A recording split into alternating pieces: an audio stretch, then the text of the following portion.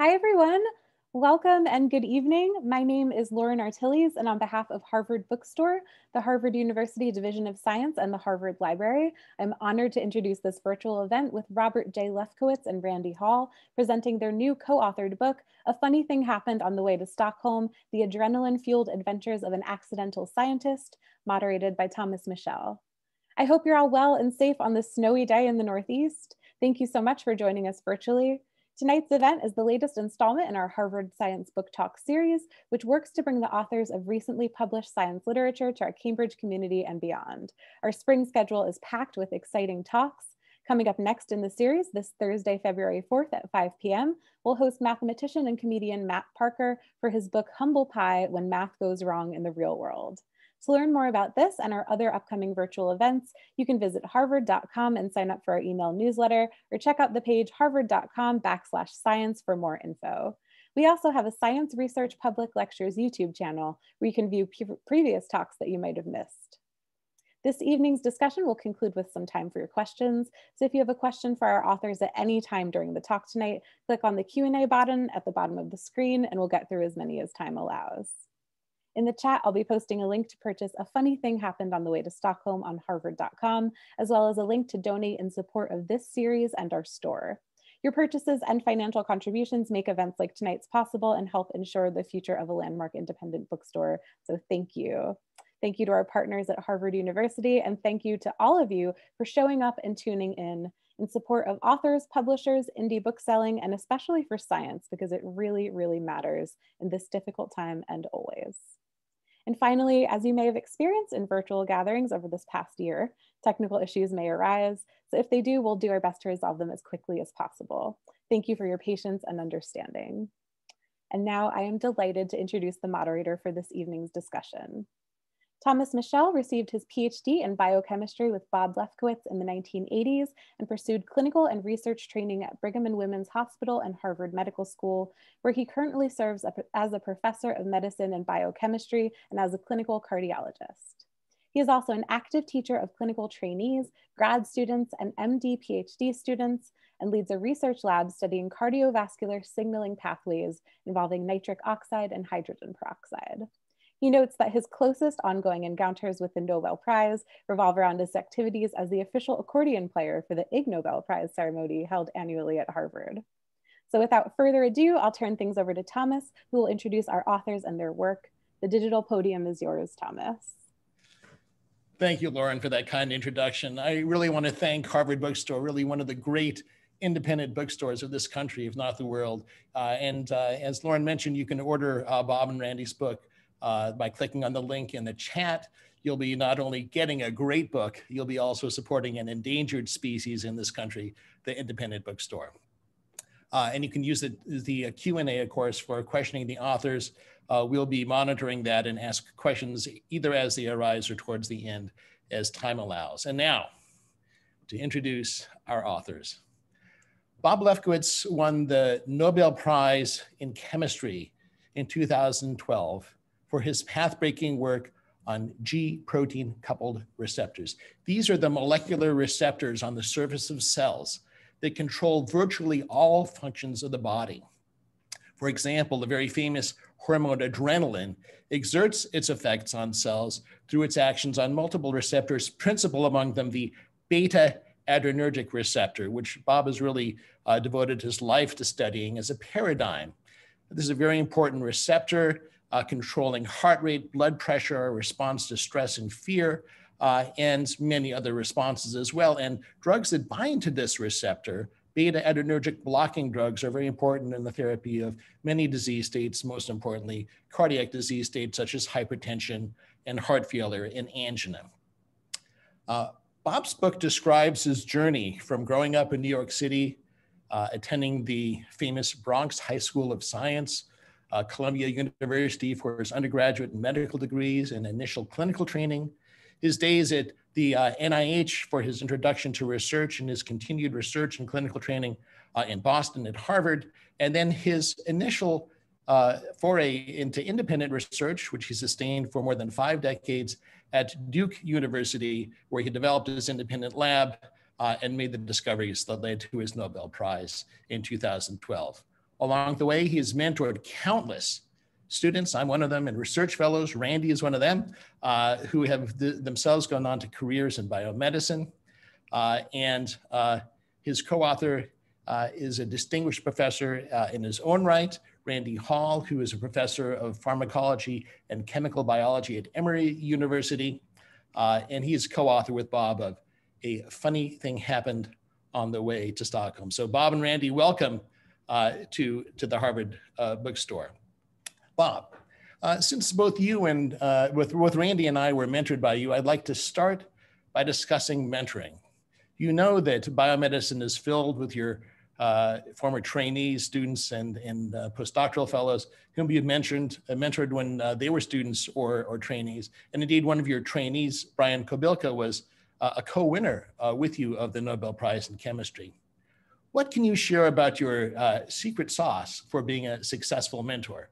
What are your secrets for recruiting and training and launching the careers of young biomedical scientists? And Randy, what have you taken uh, from your years of being mentored by uh, Bob to your own approach uh, to mentoring to your own students uh, and research fellows? So Bob, please take it away. Yes, thank you for that question, Tom. And I'm delighted to be here uh, to talk with you uh, about the subjects of interest and about the book. I have a copy of the book in front of me. I'll hold it up. Uh, and we actually have in the book an entire chapter devoted to uh, my 10 golden rules of mentoring. And I'm not going to give away all the secrets. I want you to be able to find something in the book that's new.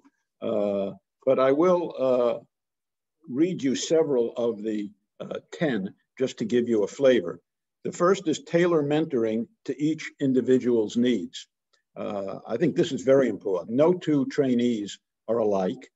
Uh, and what works for one won't work for the other. Some, for example, are more gifted than others and can be challenged in ways that the less gifted cannot. Uh, the things that motivate one trainee are not the things which will motivate another. So I think learning how to tailor your mentoring to each individual's needs is very important. Uh, I'm always big on encouraging focus.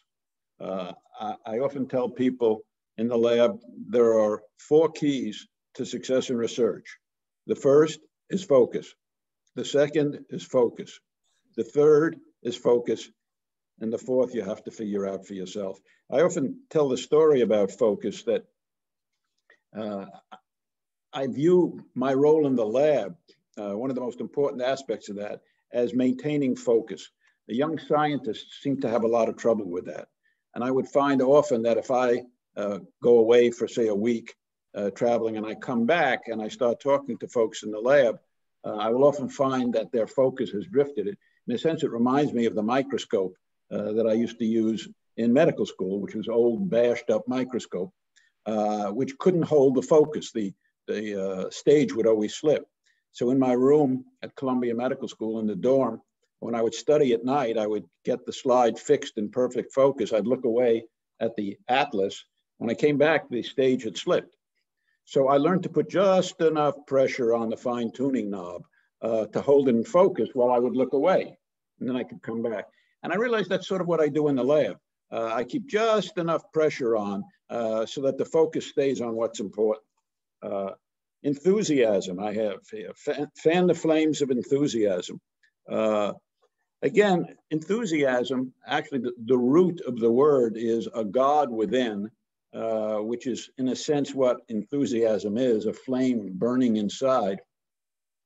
Enthusiasm, alas, is not something you can fake. Uh, and some people seem, I guess we probably all feel enthusiasm to a certain extent, uh, but not everybody can express it uh, as well or is inclined to express it as well. Uh, at my 60th birthday, hard to believe 18 years ago, there was a two day Festschrift held in my honor at Duke. Uh, I think you were there, Thomas.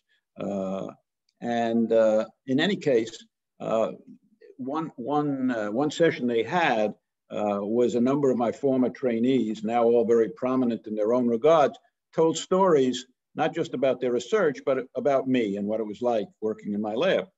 And I remember one of them, Rick Cerione, who's now holds a named chair uh, at Cornell University in Ithaca, told the story of how uh, one of the things that just kept him pumped up while he was in my laboratory is that he knew for a fact that I believed that his project, which has to do with reconstituting receptors into lipid vesicles, that his project was, at least to me, his boss, the single most important project in the lab.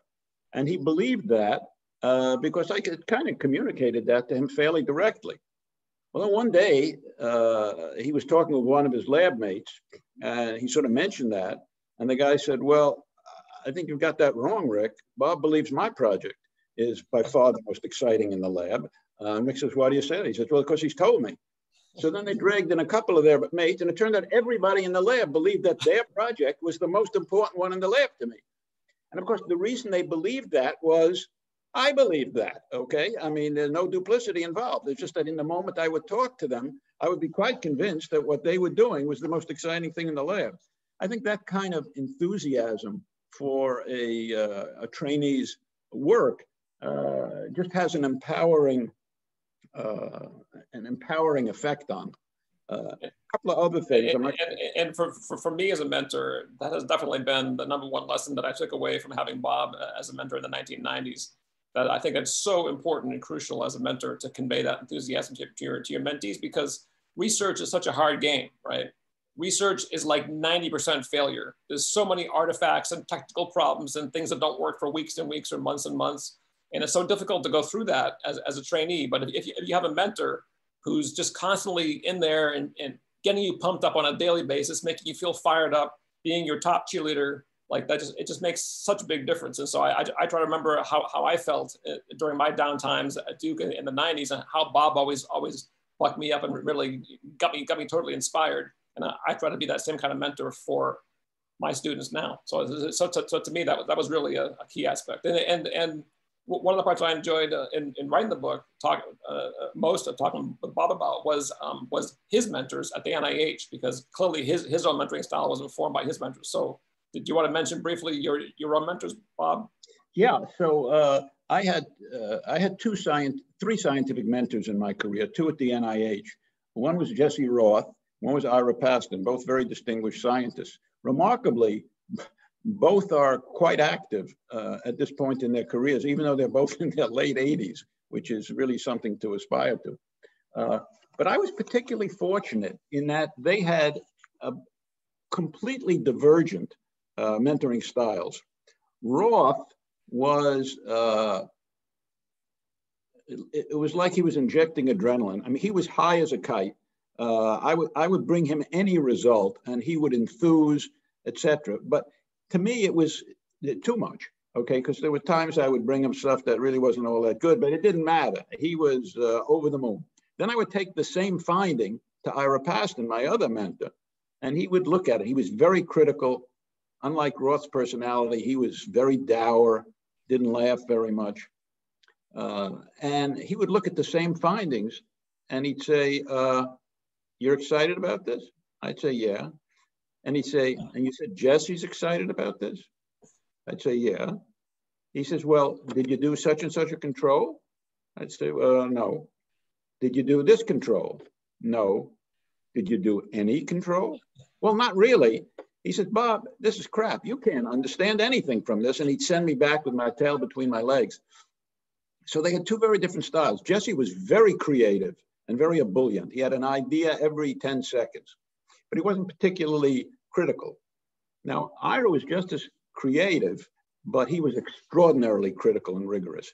And so I tried to take uh, that blend uh, of the two and, and mix them together. I tried to, uh, I think, model Jesse's enthusiasm and creativity, uh, but also to combine that with Ira's very rigorous uh, and critical style.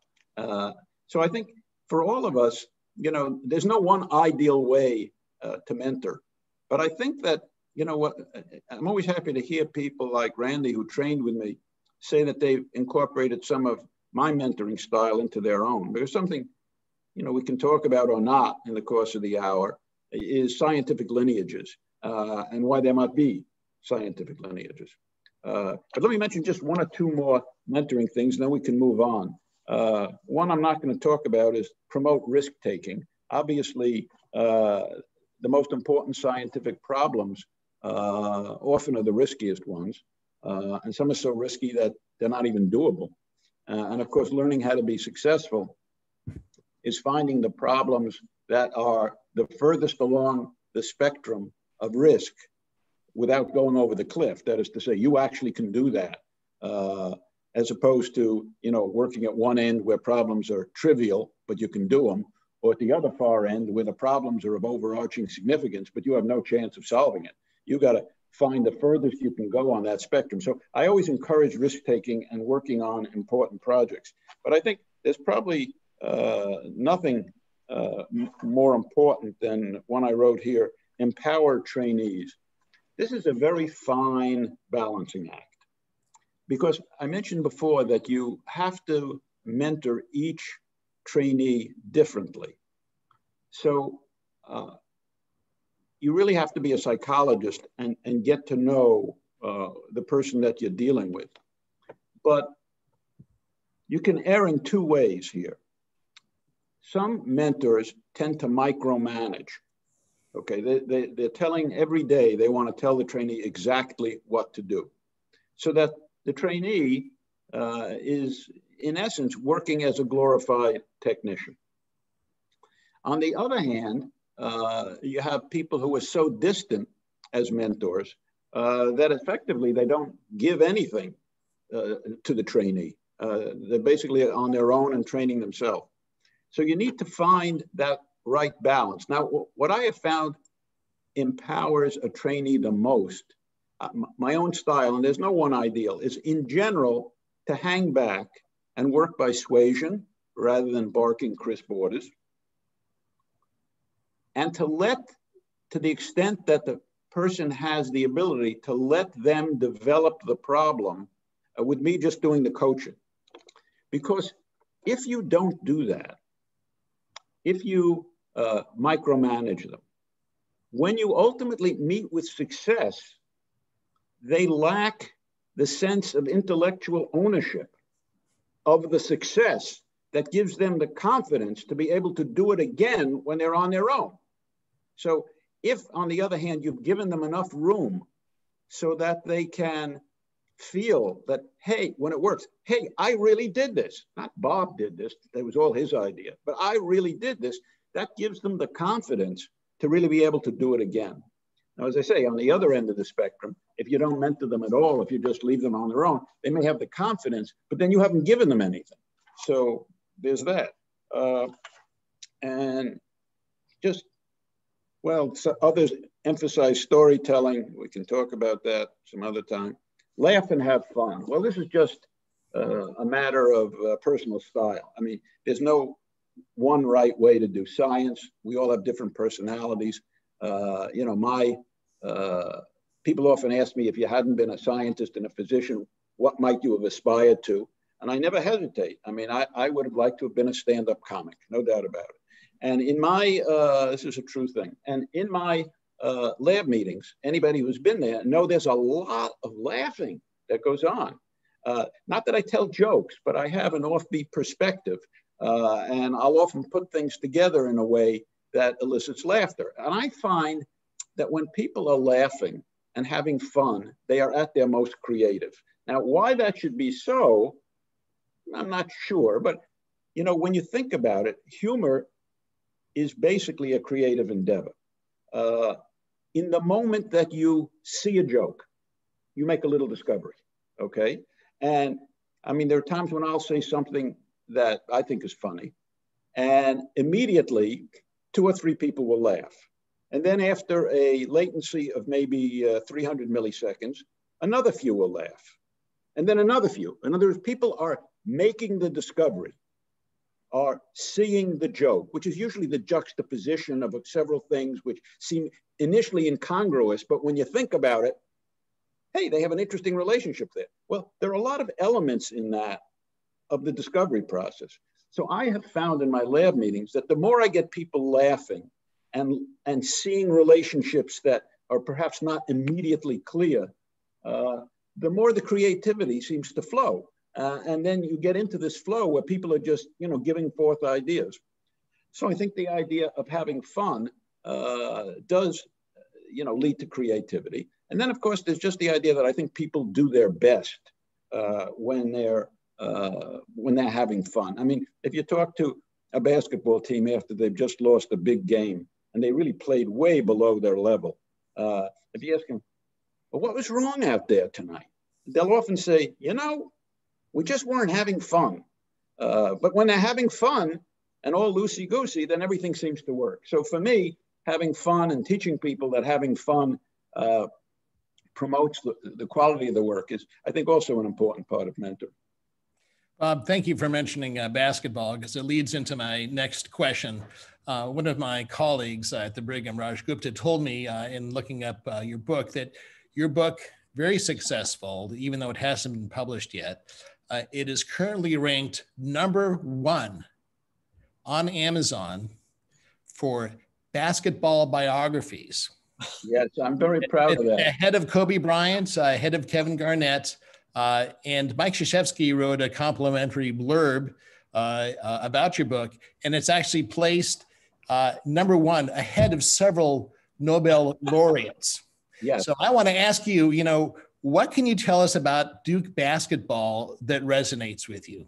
Okay, so uh, first of all, let me say that uh, there are many things uh, in common between being a basketball coach and being a mentor to scientists. And I think if you think about some of the things I've just been talking about in terms of mentoring, uh, whether it be empowering, focus, uh, these kinds of enthusiasm, uh, I, I, think you can sort of see that. But uh, let me tell you some things about Coach K.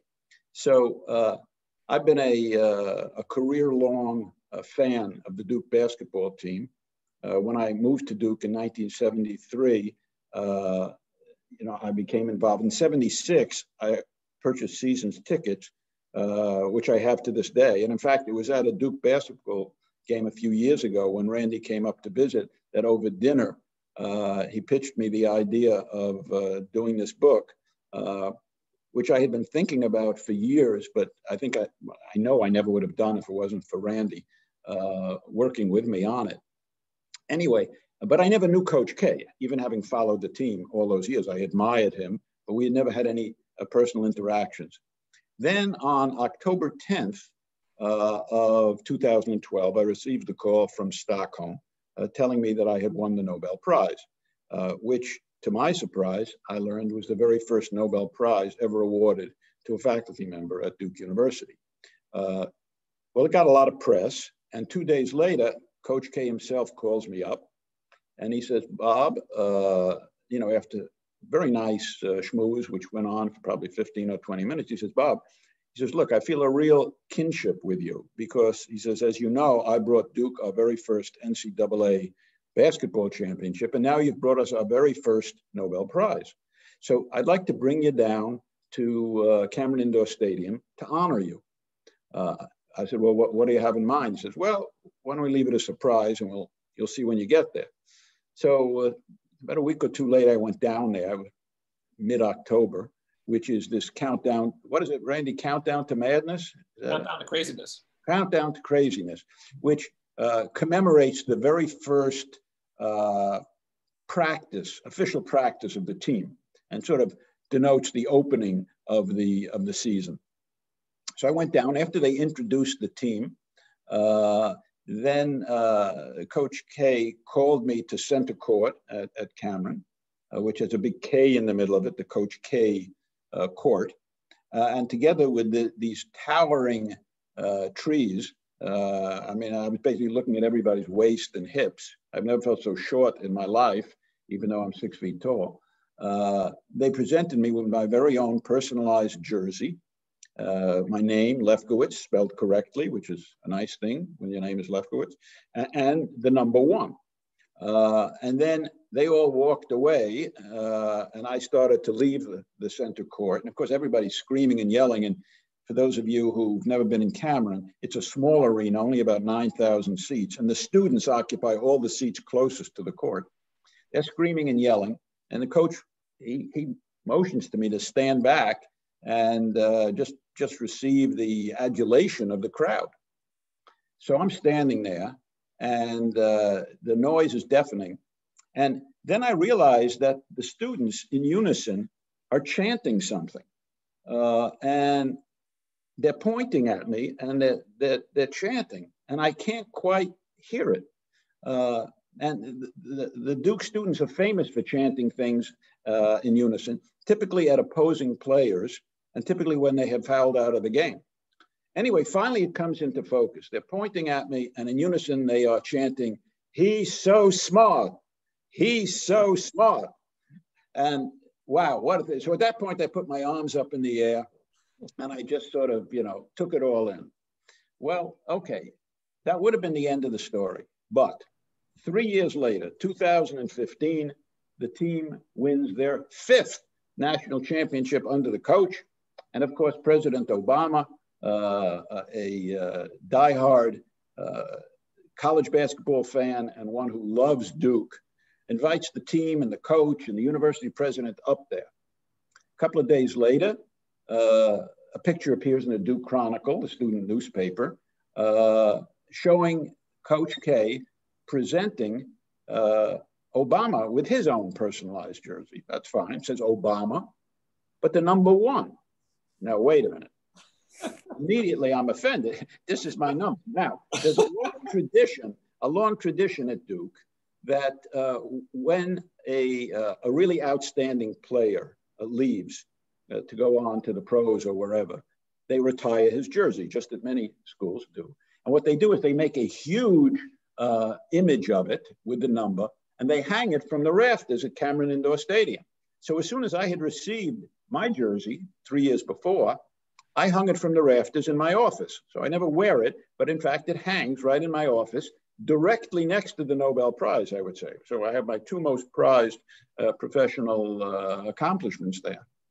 So I was appalled when I saw that they were trying to assign the president my number. So by this time, we had become good friends, done a number of things together. He has a leadership academy uh, that I participate in programs. So I immediately shot off an email to him. I said, Coach, uh, I was so thrilled, you know, with the championship and that uh, you were invited to see uh, President Obama, as I had the pleasure of meeting him as well once before. But I couldn't believe that you were giving him my number. Now, I said, You may not know this, but my number's been retired. And I included a photograph of it hanging from the ceiling in my office next to the Nobel Prize. I said, So what's the story on that? Within an hour, I have a message back from him saying, Bob, look, you have to understand, I didn't want to do it. He says, but it is the president of the United States. What was I going to do? He says, but, but he says, look, you know, and I know, you're the real number one. Well, I mean, what are you going to say about that? I wrote back, I said, Coach, all is forgiven uh, and it'll be fine. So that's how the, the Jersey story sort of ended. And, wonderful, Thomas, wonderful. Yes, please. Thomas, uh, in, in, terms of your question about why we're number one, ranked number one on Amazon in basketball biographies, we have wondered the same question because obviously there is some basketball in the book, as Bob was just right. telling one of the stories, but uh, it's not primarily a basketball bi- biography. Well, well that's great. We, what we've discerned is that probably the Amazon algorithm figured out that Bob is from Duke, and most people who come from Duke are mainly basketball players or basketball coaches in terms of having, having books. And so, so I, I think Amazon just assumes that anyone from Duke, it probably has to do with basketball. And so somehow we, we're, we are ranked in the basketball biography category. So we another, also, reason not, another reason not to buy from Amazon. Let's now get back to your book. Sorry, I should probably shouldn't have said that, I, but uh, uh, I, uh, that's that's probably the least offensive thing I'm going to say. Uh, Randy, you had something. But, but we do want folks to support the Harvard Bookstore. So certainly, if, if you're going to buy the book, go out and, and buy from Harvard Bookstore, one of the one of the all-time great indie bookstores. Absolutely, or your local independent bookstore, a, a threatened species for sure. I'd like to get back to your path, uh, maybe uh, dial back a few years, Bob, uh, and with Randy, your comments as well.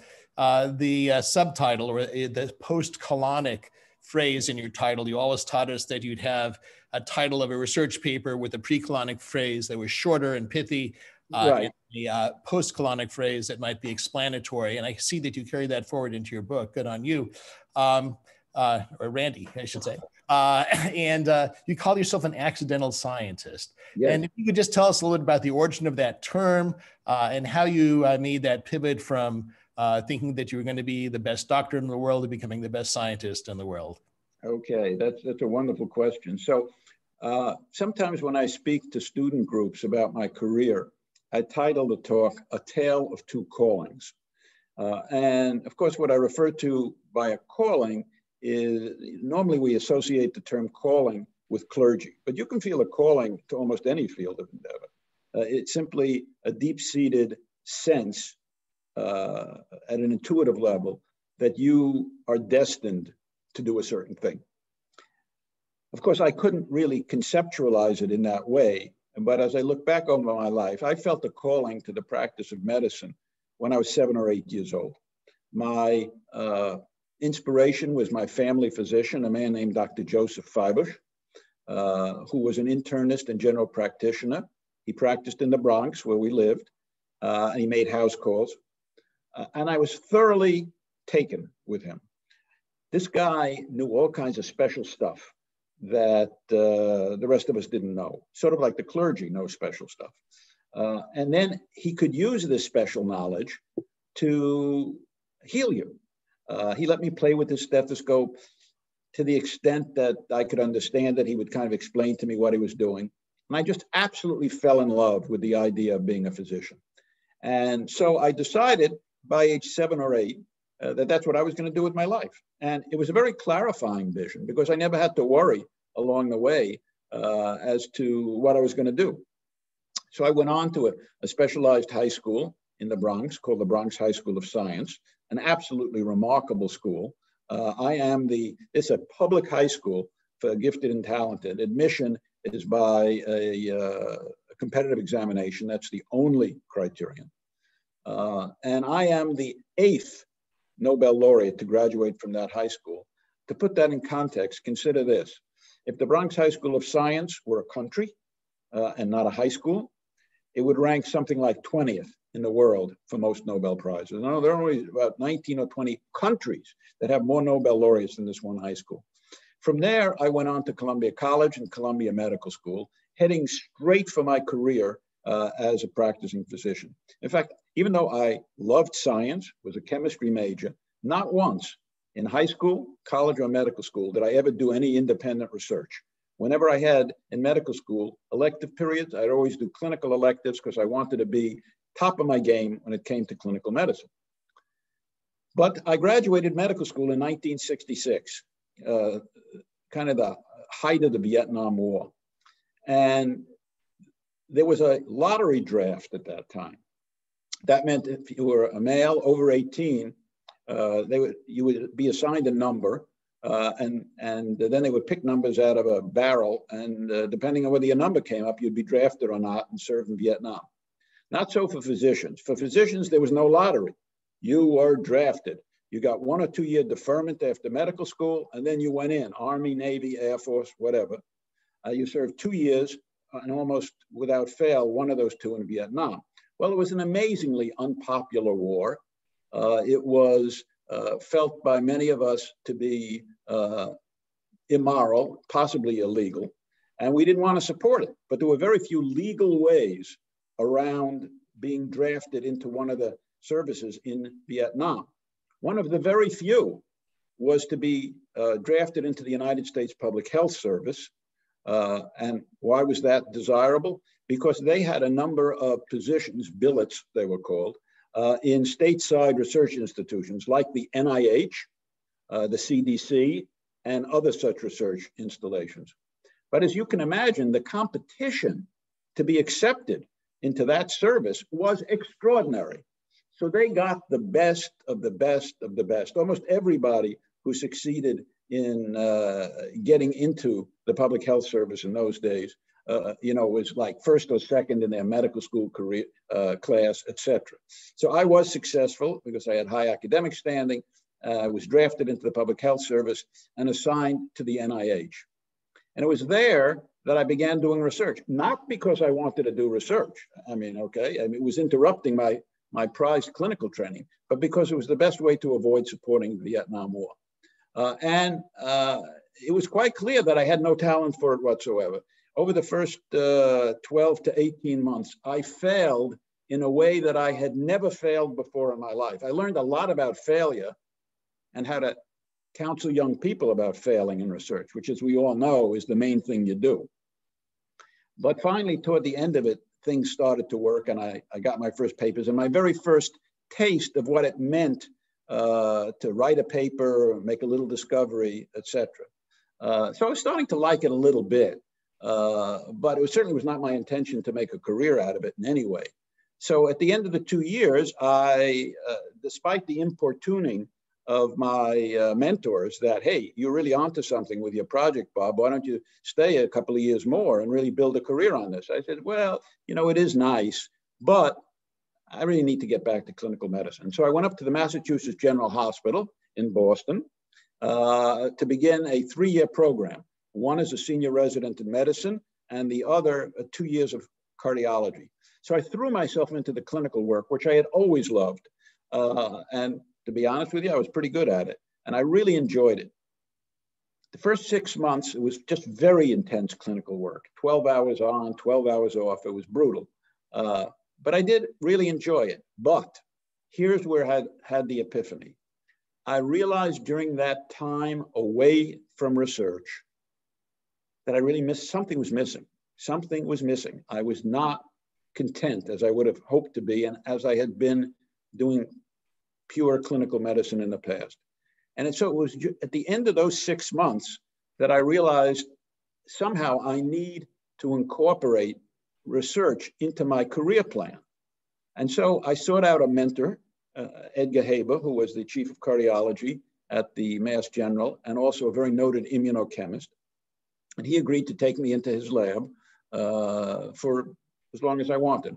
And so there, while continuing my clinical studies, I first began my uh, studies of adrenergic receptors. Uh, I made some headway, but uh, it was hardly brilliant. Uh, and uh, in 1973, I moved to Duke because I had given several papers at the American Heart Association, and the chief of cardiology at, uh, at Duke had heard those. He was looking for somebody to start a new program in a frontier area that was being called molecular cardiology. Uh, you may be familiar with that, Thomas, as one of the great practitioners of the art.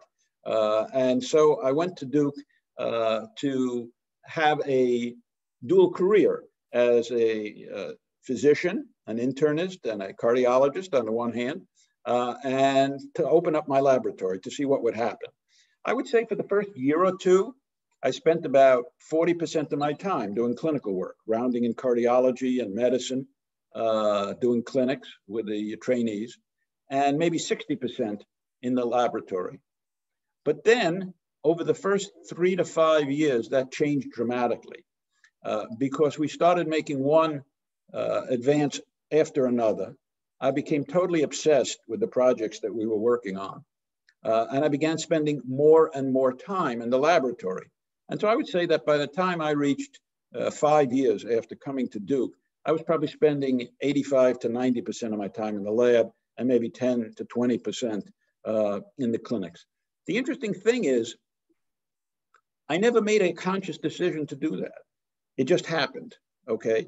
What was going on was that this calling to do research was just overtaking everything. Uh, in spare moments, driving home, hiking in the woods, in the shower, what I'd be thinking about is how the hell am I going to purify that protein? Not that was an interesting murmur that I heard in clinic today. Could that really have been X, Y, or Z? So it was really just sort of taking over my being. Uh, and then, as they say, uh, the rest is history. So, were it not for the Vietnam War and being drafted and being sent to the NIH, I never would have tried research. And I think I would have happily practiced medicine and cardiology my entire career. I cannot imagine I would have been anywhere near as fulfilled as having been able to have one foot uh, in each world uh, all these many years. Bob, thank you very much. We're uh, the the hour is moving along. There's a question I'd like to ask you that uh, is rooted in part in a statement you made both in the book and also just now about your uh, moral opposition to the Vietnam War. we are looking at the uh, end of a national leadership period in which science was denied, uh, and we're entering a, uh, a leadership period in which science is much more effectively supported. We're looking at Eric Lander uh, now as the science advisor to the president, raised to cabinet level. So my question for you, and I know that you have signed uh, petitions in support of a variety of political causes, including uh, uh our now president, uh, uh, Joseph Biden. What can scientists do? What should scientists do to ensure that science remains at the forefront of policy? How can we communicate what we do and why we do it? How can we get involved in a way that's meaningful while still pursuing this career, which is more than full time? I guess this all has to do with communication uh, and having opportunities to communicate. One of my heroes, and in general, when we talk about heroes, we're usually talking about people who are from a generation before us. But a number of my heroes are contemporaries or peers. So when I was at the NIH, 1968 to 70, I was part of a remarkable class. Consider that there were only 50 to 75 of us each year who went in there. In my class, all physicians, none of us with any significant prior research training, were the following Michael Brown, Joe Goldstein, Harold Varmus, and myself four future Nobel laureates, and one other individual I want to focus on. He didn't win a Nobel Prize, but you may have heard of him, Tony Fauci. Tony was one of my good friends uh, from that era and forward. And in the book, I tell some stories about Tony uh, and experiences that Tony and I had. Tony is, amongst other things, and he's one of my heroes, but Tony is the quintessential physician scientist, okay? And his communication skills are, you know, about at the highest possible level. It would be great if those of us who are physician scientists or just scientists uh, were able to have the kind of platform that Tony has. We don't. But there are other ways that we can we can get out there. One is I've always been, how can I put it, uh, uncharacteristically shy, let us say, uh, about talking about my scientific work to reporters uh, or in any public way.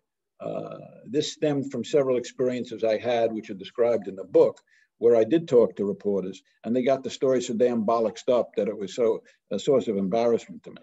But if we can get our stories out there so that people understand uh, what we are doing and how important it is, I think this is a perfect moment for that because we've just come out of a dark four year period where science was denigrated. Uh, and uh, I, I, have to tell you that this is not unique to Trump. He, rose, he brought it to an art form, the denigration of science, but it was going on uh, for years before that by the Republican Party. And in fact, in my uh, what's called banquet speech in 2012, which is included in the book, uh, I spoke specifically about the denigration of science uh, by uh, what I said in my remarks, which you can read on the Nobel website, was that one of our political parties in the United States uh, completely denigrates, I use other wording, denigrates science. I never mentioned the Republicans. I thought it would be too controversial.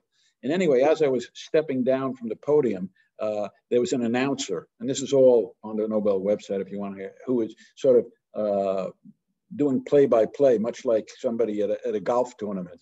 It was Dr. Robert Lefkowitz just giving his remarks at the Nobel banquet, in which he completely trashed the Republican Party for the way they treat science. I had never mentioned the word Republican. You can, my text is there, but obviously they knew what I was talking about. Uh, amongst the many traditions, less important, that uh, President Trump uh, bashed was it's been a long-standing tradition for the President of the United States to meet in the Oval Office with all American Nobel laureates on their way to Stockholm to receive their medals. Uh, and that's gone on for a long, long time. I had the pleasure and the privilege uh, of meeting together with four other uh, American Nobelists in my year uh, with President Obama. We've got some really fun stories about that in the book. Uh, but Trump never met with a single laureate. Uh, the very first year, he said, I'm not doing this. Never said why. Uh, immediately, several of the laureates said that had he invited them, they wouldn't have gone. Uh, and that was the end of that relationship. So he never met with a single laureate. So I think, yes, it would be wonderful. We've got to get the word out there. Uh, and we could write op-eds. Uh, I've written several op-eds in the last couple of years about the importance of physician scientists. And if we want to know about the importance of that particular breed, just look at Tony Fauci. And it, it's a declining uh, and a very small group who opt to become physician scientists. Currently, only between 1% and 2% uh, of all physicians indicate that they do any sort of research, any kind of research, as part of their uh, career, be it clinical or basic or whatever. So we have to train more physician scientists. That's something I'm particularly uh, passionate about. And I am the, uh, the founding president of a, a nonprofit called the Physician Scientist Support Foundation that is trying to get the word out. But again, I think there's no better advertisement uh, for this whole enterprise than somebody like Tony Fauci. And I think we have to ask ourselves as a society, uh, where is the next Tony Fauci coming from? Uh, you know, are we training the next generation of epidemiologists and public health physicians? So I think this question brings out just a very, very important issue. Bob, thanks for your response. Uh, Randy, you're uh, a few blocks away from the CDC. You're in a state that has seen its uh, share of, shall we say, political excitement. Uh, if you could perhaps comment uh, in the same vein, and then I think we're going to need to go and we'll want to go to some of the questions that have been piling up in our Q&A. Randy, the floor is yours for a minute. Yeah, absolutely. So I would just say that this is one of the reasons why we uh, wrote this book. You know, Bob and I believe that public outreach uh, about science is so important.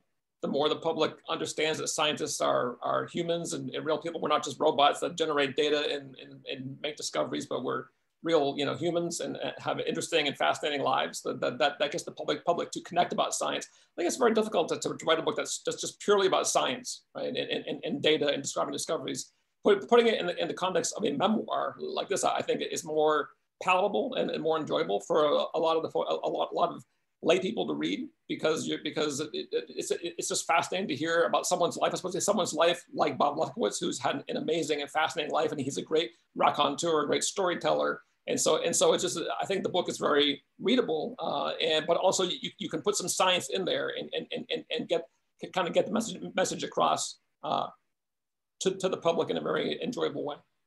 I just say one, one little coda to that, uh, Thomas, which is that I think that one of the things that we wanted to do in the book, and I, I hope we've succeeded, is just what Randy says, make it clear that scientists are humans.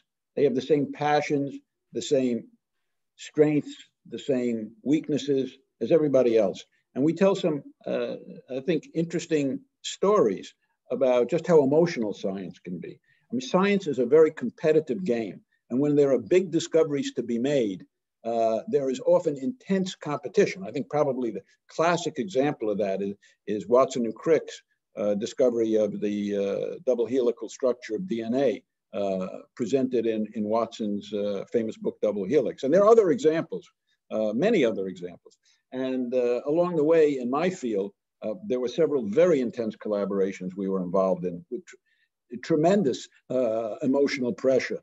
Uh, and we tell those stories, which I think, regardless of whether you know or care anything about science, you will find uh, very interesting. I'd like to tap into emotions as my last couple of questions before going to our uh, list of Q&A that are, that are piling up now. And that is to tap into uh, the emotions that you describe about discovery. Bob, just very briefly, and then Randy, what discovery did you make that at the moment seems like seemed like the most exciting thing you've ever done? And even reflecting on it now it it, it senses uh, or it recalls to you the sense of uh, i've just found out something that's really really cool and potentially important. It's probably difficult for you to separate out it is difficult. it is difficult. It's sort of like asking me which of my five children is my favorite. So but all that said uh, probably the one that i would choose uh, and believe me, there are a bunch that are right up there with it or just behind it. Would of course be the when we cloned the uh, gene in cDNA for the beta adrenergic receptor. So we had been on a long journey by that point, somewhere around 15 or 18 years, in which we had steadily built this edifice, starting with developing all the techniques which were necessary for even showing there was such a thing as receptor, studying it, purifying it. And now we were finally going to find out what its amino acid sequence was going to look like. It was very difficult and very competitive, as we describe in the book. If you had asked us in advance, what do you think it'll look like? In fact, people did ask me, uh, what do you think it's going to look like? I said, I think it's going to look like nothing because I think it's going to be the first one of its kind, the first G protein coupled receptor that we're going to find the structure of. Uh, I think that, uh, you know, it'll be a totally novel gene family. Well, okay, so finally we succeed. And, you know, the databases were pretty uh, meager in 1986. We get the sequence, we look at it, and oh my God, it only looks like one other protein, rhodopsin. And it looks a lot like rhodopsin. Now, for those who don't know what rhodopsin is, it's protein used to be called visual purple. It's in the retina. It's what allows us to see light. It's essentially a receptor for photons of light. And it was known that it worked through a G protein. Still, nobody ever dreamed that there would be a structural relationship between the beta receptor and rhodopsin. They both had the same architecture, which was a structure where there are seven hydrophobic domains. The protein weaves back and forth across the plasma membrane seven times.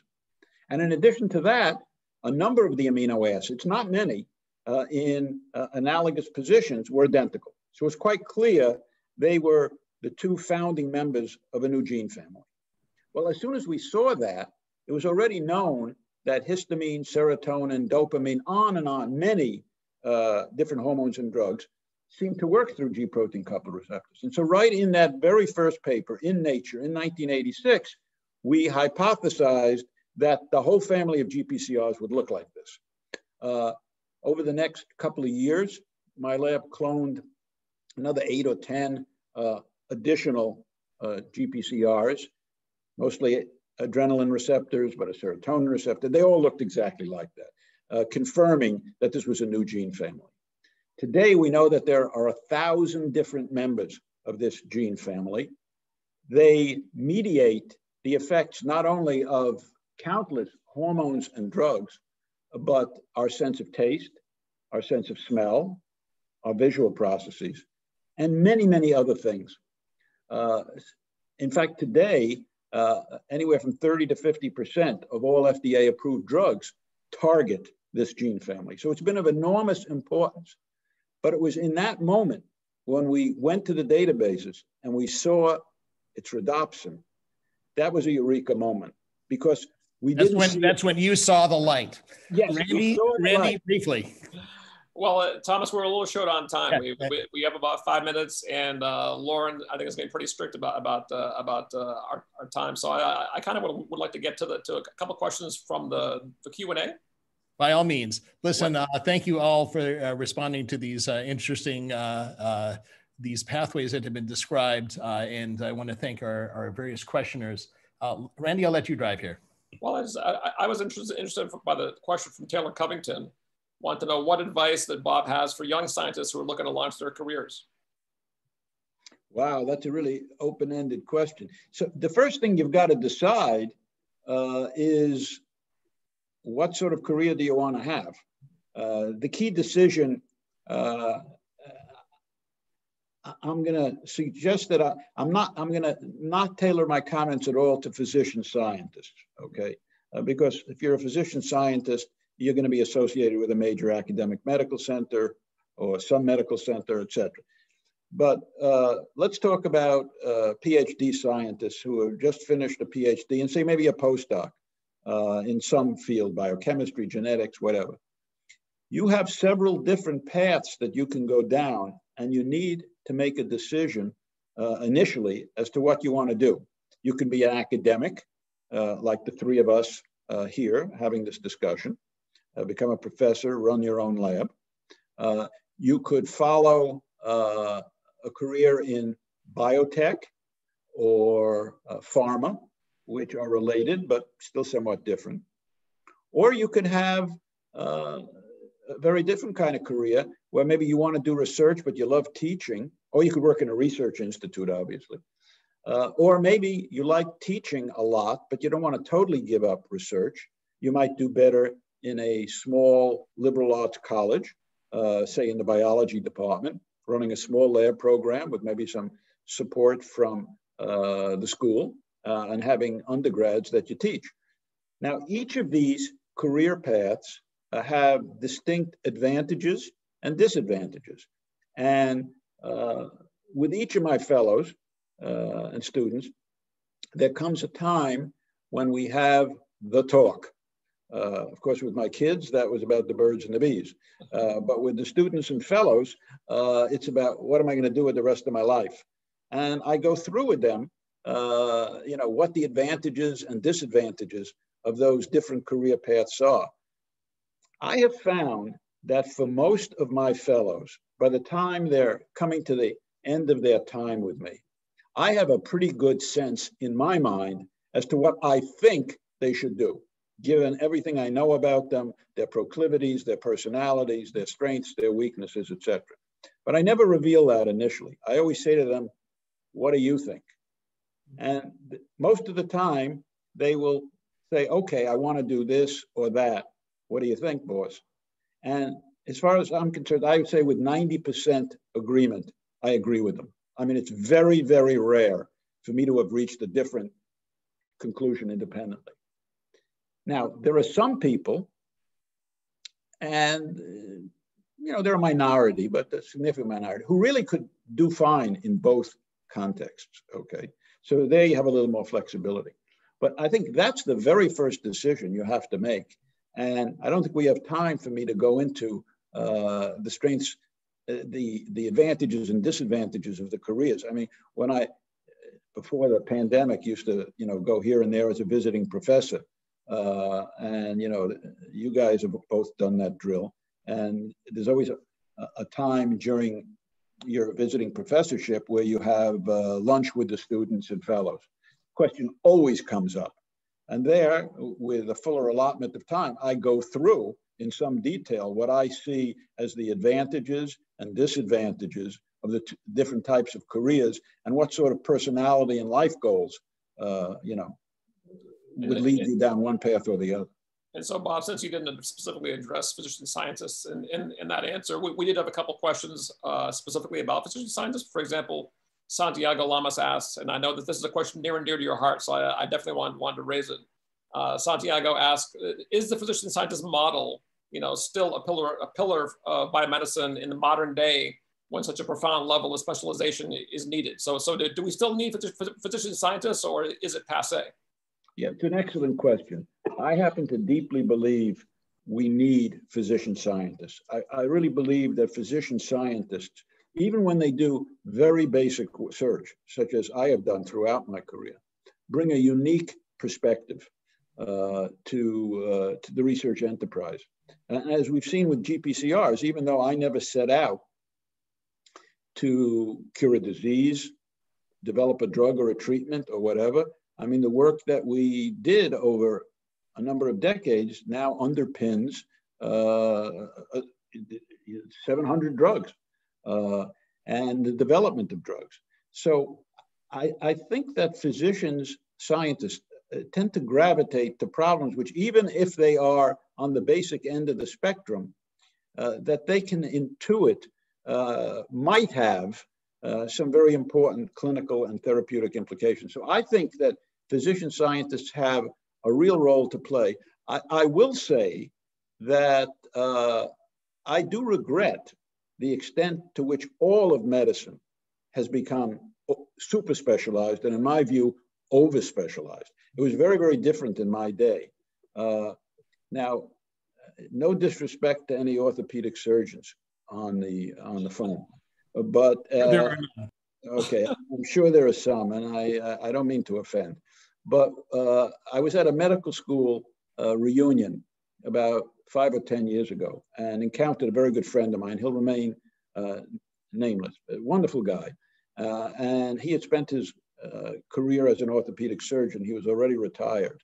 Uh, and he, uh, he had also actually been the team physician uh, for a very prominent professional uh, sports team. I won't tell you the uh, which sport it was because I don't want to give away his identity. Anyway, we got to talking, uh, and you know, he told me about his career and this and that. About a year later, uh, my son, who lives in the same city as him, uh, had a hairline fracture in one of the bones in his ankle. Uh, so I called up my friend uh, and I said, Would you be willing to see my son, Josh?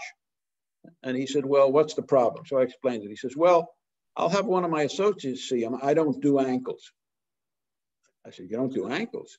Uh, why don't you do ankles? He says, Well, you know, we tend to specialize. I said, Well, what do you do? He says, I do shoulders. I said, Only shoulders? He said, Yeah. I said, Right or left? well, I, don't, I, don't, I don't think he thought it was all that funny. But anyway, there, there's, there's a lot of specialization uh, in, I think there's too much uh, specialization. But anyway, that's, that's, that's my, the way I see it. Well, I want you to know, Bob, uh, that the question that was posed, which Randy selected out of multiple uh, questions that remain open, is from my very first postdoctoral fellow, my very first own trainee, Santiago Lamas. Uh, ah, you're talking to your you're talking to your grandson right there. Scientific grandchild. I love there we go. Santiago, delighted to meet you. You had a terrific mentor.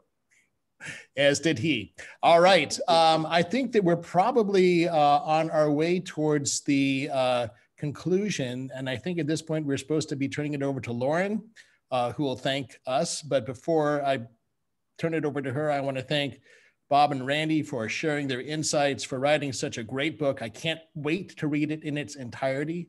I look forward to visiting you both uh, and getting a personal signature on it. Uh, and I want to thank Harvard Bookstore for bringing us together and for all that they do. And to all of our attendees and their very thoughtful queries. Uh, and I hope they take away from this uh, the sense of inspiration, of scientific excitement that Bob always elicits. and I think that's come across.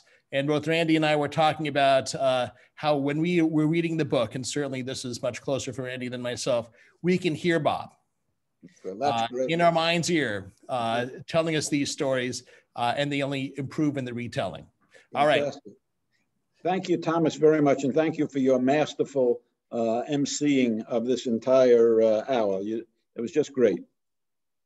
Thank you all. Thank you so much, Bob, Randy, and Thomas, for this fantastic conversation. And thanks to all of you out there for spending your evening with us.